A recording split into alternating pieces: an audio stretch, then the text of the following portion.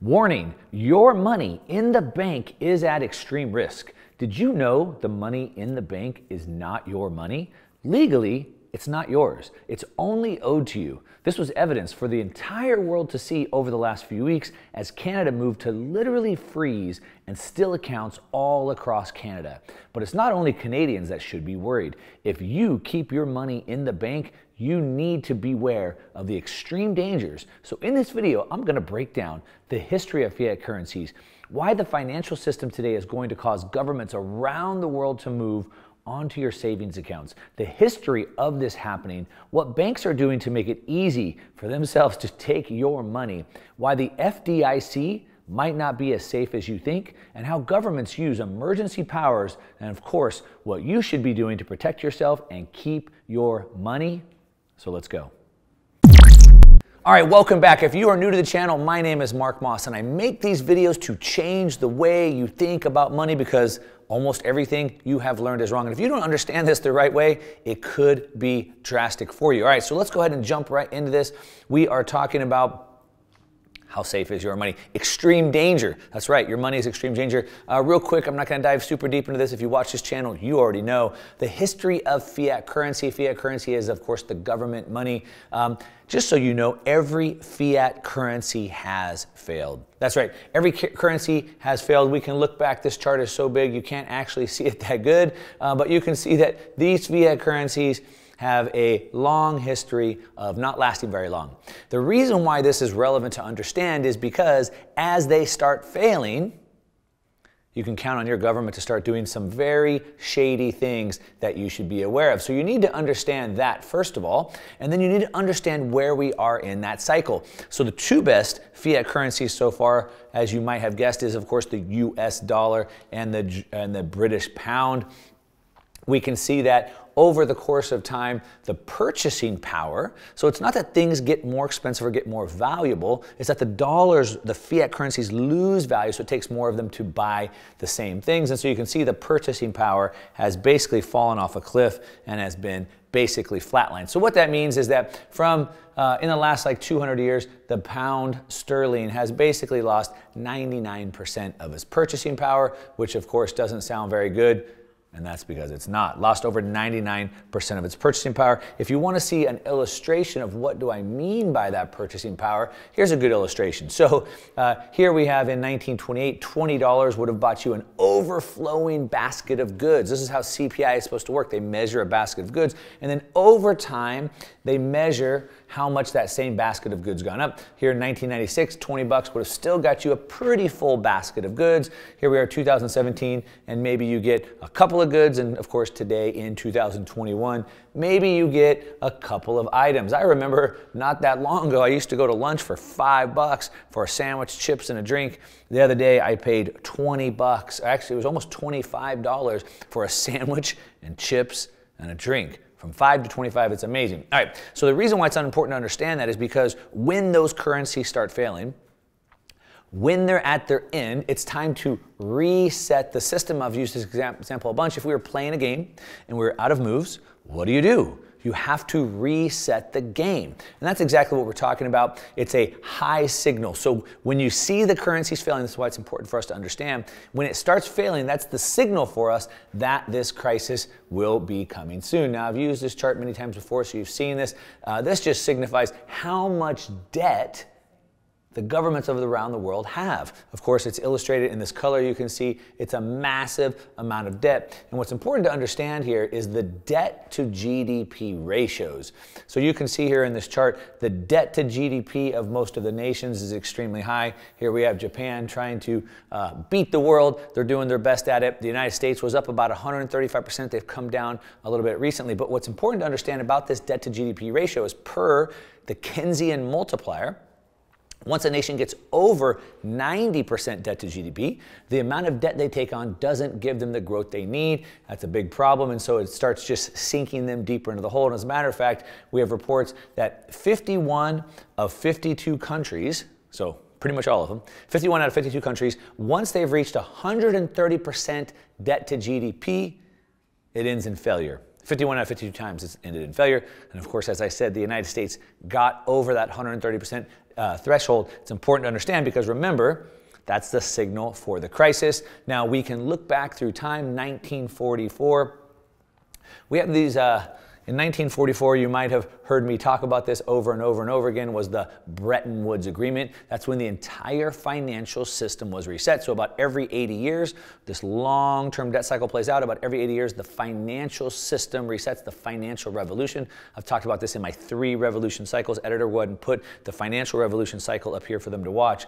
But in the Bretton Woods Agreement, the entire global financial system was reset onto a global one monetary system. Of course, that was the gold system. The dollar was pegged to gold. All the other currencies were pegged to the dollar. Now, that was 1944. 80 years later, right now, 130% debt to GDP. Central banks are out of moves. What do you do when you're out of moves? You reset it. Bretton Woods was a reset of the financial system, a new global monetary system. Today, we have the IMF calling for another one. As a matter of fact, they're calling for a Bretton Woods 2 moment. You can see right here, a new Bretton Woods moment. Kristalina Georgieva from the IMF is calling for that. So we need to be aware of that because this is the signal of when things are starting to get pretty bad. Now, if we look back, there's a history of economic theft. What do I mean by that? Well, that means uh, governments and banks stealing your money, stealing your wealth. It happens a lot. So there's the high debt levels, 130% debt to GDP, precedes the seizure. So when you see that we're reaching these debt levels, when you see that we're approaching a reset, when you see that they're calling for a reset, then you can be sure that the seizure comes after that. A couple examples of that. We can go back to 1933. Most of you probably are aware of this, Act 6102. May 1st, 1933, what happens? The banks go on, quote, a bank holiday. that means the bankers go on holiday, the banks are closed, and you can't get your money out. Not a holiday for you. They're on a holiday, your money is locked in the bank. What happens? The banks shut down for about a week. When they open back up, you don't get your money. So at the time, before 1933, gold was money. Gold was money for 5,000 years. We put our gold in the banks. We had paper gold certificates.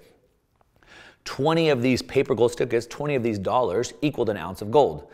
The banks go on holiday. When they open back up in 1933, I can no longer get my gold. And as a matter of fact, instead of $20, 20 paper certificates for an ounce of gold, now it's 35 paper gold certificates for an ounce of gold, which means not only did they steal all your money, they also devalued it, so you lost another 60%. Super, super cool, right? Sounds fun. Well, in 2013, this isn't just old history, I know, 80, 90 years ago. Uh, this isn't just ancient history. In 2013, the same thing happened in Cyprus. We saw in Cyprus the same thing played out. We saw massive amounts of debt accumulate. So you could see this proceeding. You knew there was going to be a problem right here if you were paying attention. And sure enough, after that debt level built up, here we see depositors lose 47% of savings in the bailout. So when Cyprus got this high level of debt, guess what they did? They took the money from the people, 47%. Now, I know this is more recent, but could it happen? Does it happen in bigger countries? Cyprus is kind of a small country. Well, we saw the same thing in Greece here. Even more recently, we saw the public debt as a percentage shot through the roof. And then, of course, like I said, it proceeds. So, what happens next? Well, Greece will close banks for six days. Oh, sounds familiar, right? The old banker's holiday. Six days and impose limits on withdrawals. So the bankers go on holiday, but you can't get your money. So you don't go on a holiday. But that's what happens. Now, again, this is not just ancient history. Here we have in 2021, Lebanon.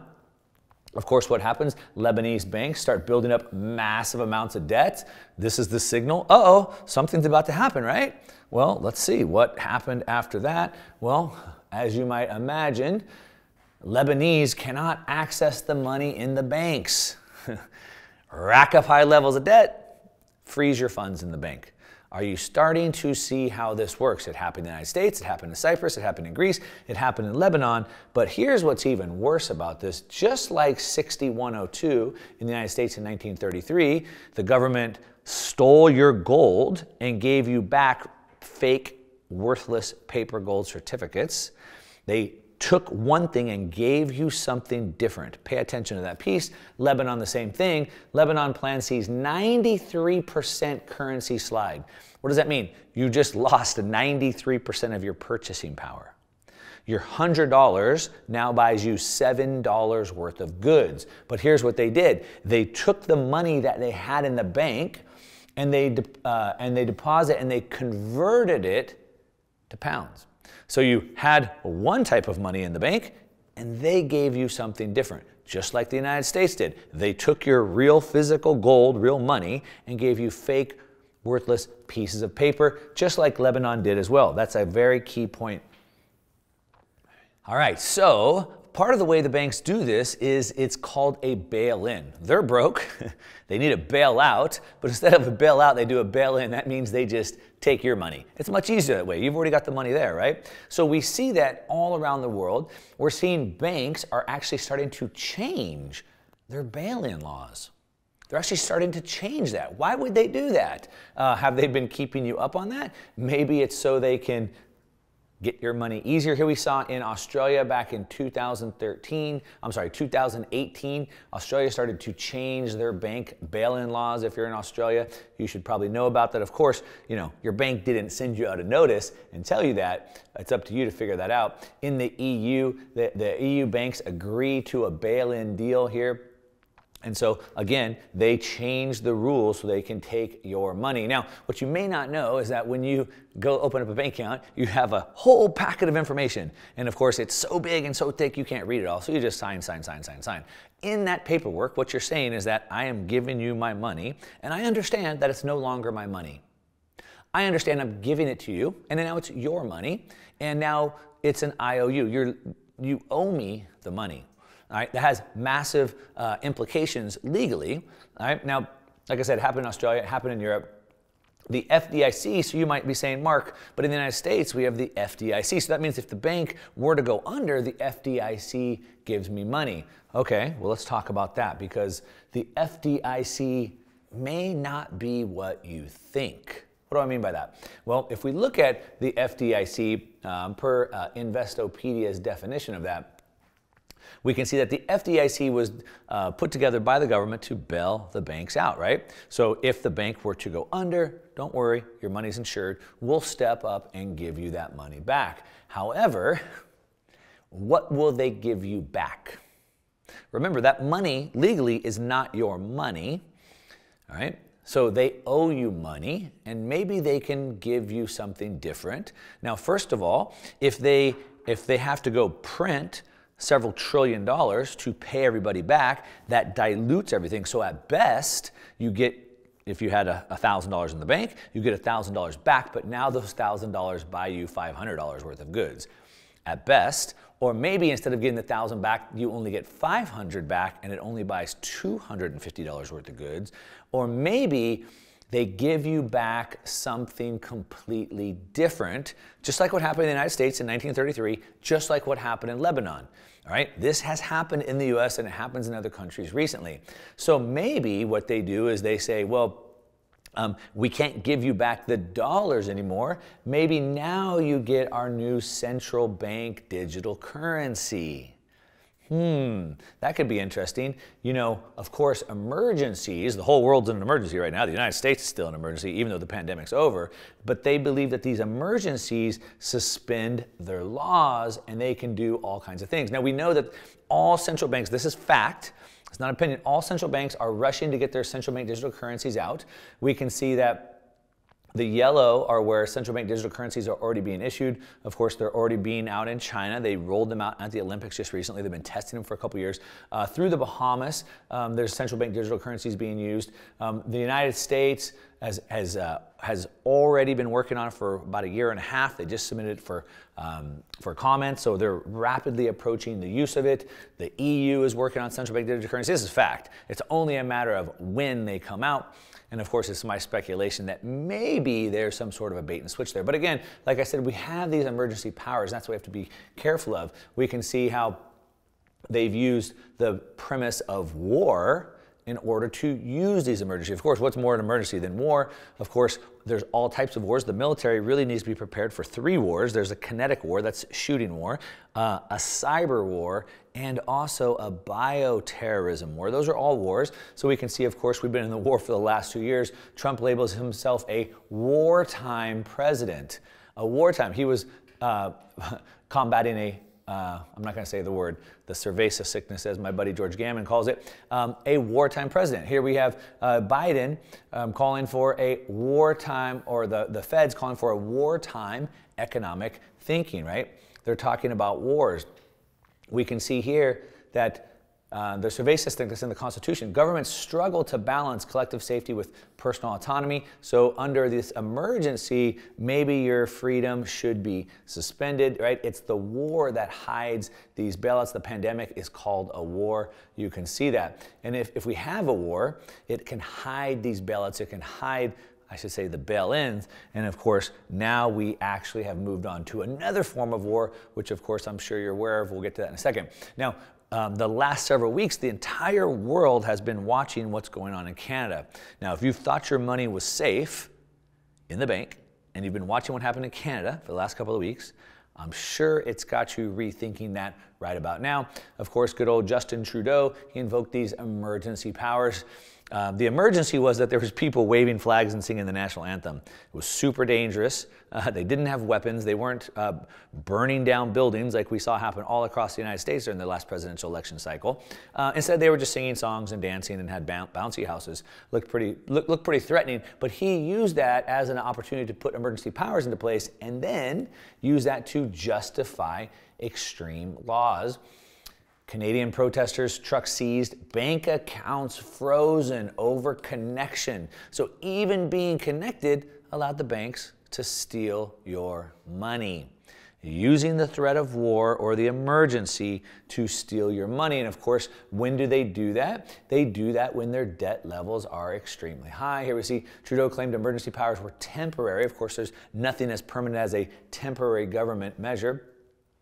Um, but you know, everybody thinks of Canada as this democracy, freedom-loving people. But we can see here, if we compare India versus Canada, of course, most people think Canada is free, India is not as free. We can see that there's a quite a difference right here. So when protests happened in India, they had 11 rounds of talks with the protesters. In Canada, Justin Trudeau refused to even meet with them. All they said was, hey, all we want is the mandates dropped. Most of the provinces around Canada had already dropped them, but Trudeau wouldn't even come talk to them. Um, in in uh, India, no arrests were made for blocking roads. Of course, in Canada, they froze all the bank accounts of the protesters. Uh, they took the matter to the court. In India, they went to the courts to see um, what, what they should do. But of course, in Canada, they imposed national emergency so they could bypass all the courts. Um, and so in the democracy ranks, India is 53. They're a very flawed democracy, supposedly, while Canada is a full democracy at five. But of course, we can see how they work has been completely different. Um, I have these charts. I'm not going to run through all these, but we can see um, all the banks. This is uh, Scotia Bank. This is uh, RBC. This is the amount of outages they had. So what happened is when they tell you that you don't have the right to keep your money in the bank as yours, or that we're probably going to freeze or seize your money, guess what happens? People go and get their money out of the bank, right? Makes sense. And so we can see massive outages through all the banks. That's TBD. Here's CIBC. And even good old Jordan Peterson had a strong message that he's been told. Um, let's go ahead and play this video from Jordan Peterson you know, I don't know what to make of all of this because it's happening so quickly. I can't believe the state to which the country has degenerated. I've been in contact with a reliable source within the Canadian military, and he told me today by email that if I had any sense, I'd take my money out of the Canadian banks because the situation is far worse than I've been informed. And so that's just one of many such messages I receive on a daily basis. So let's talk about the bank. So here's what our Prime Minister did last week.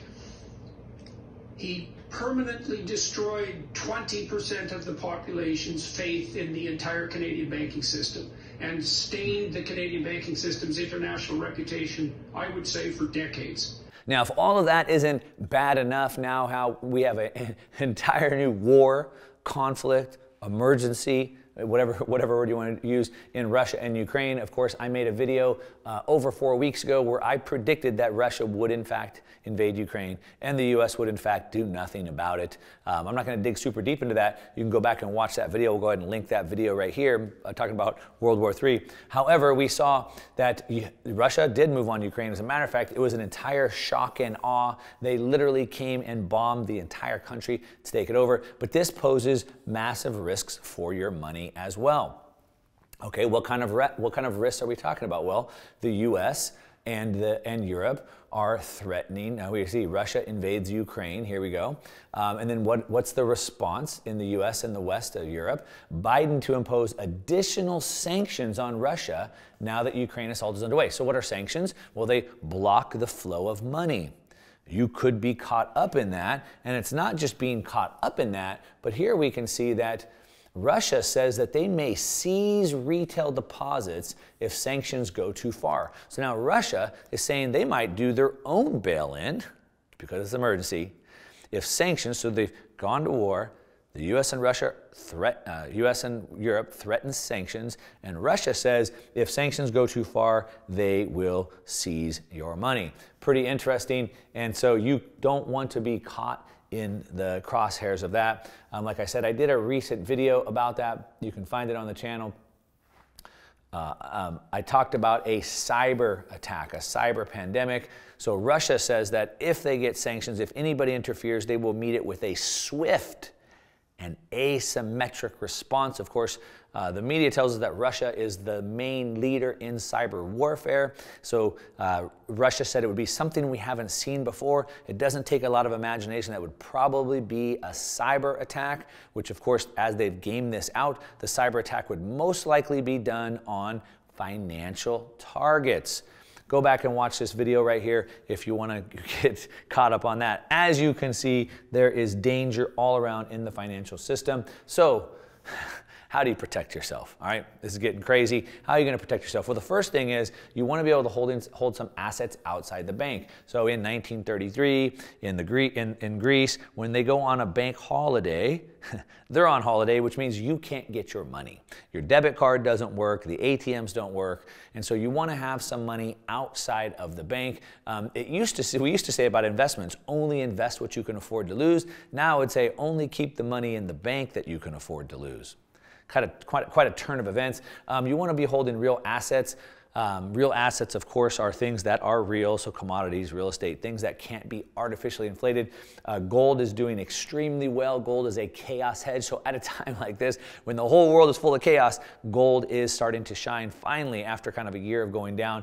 Of course, you know that I uh, love Bitcoin. Bitcoin is a way that we can hold our money outside of the system. We can move it around easily. Gold isn't as easy to move around.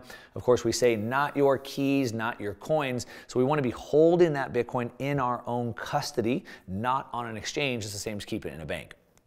If you have gold, don't hold it in an ETF. Keep some gold at your house or in a safe, uh, a safe deposit box that you can control. With your Bitcoin, keep custody of that. Keep your keys as well. Like I said, that is the key component. Those are the ways that I'm going to be protecting myself. Of course, there's way more when it comes to navigating around this that you need to be aware of. And so it's so important that I'm actually going to have a live event coming up uh, very, very shortly. There's a link down below. I have about 15 of the top speakers in the world on these exact subjects how to build, grow, and protect your wealth.